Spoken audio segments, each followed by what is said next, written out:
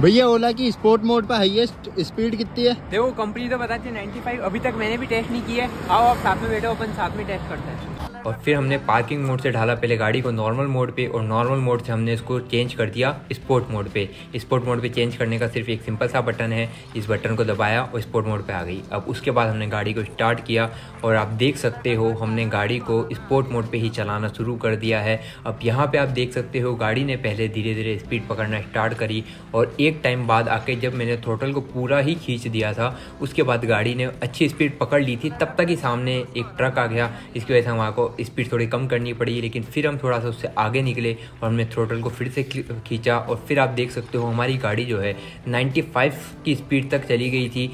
और ये जो स्पीड है 95 इसकी टॉप स्पीड है जो कंपनी बताती है मतलब एग्जैक्टली जो कंपनी बताती है, वो सही बताती है।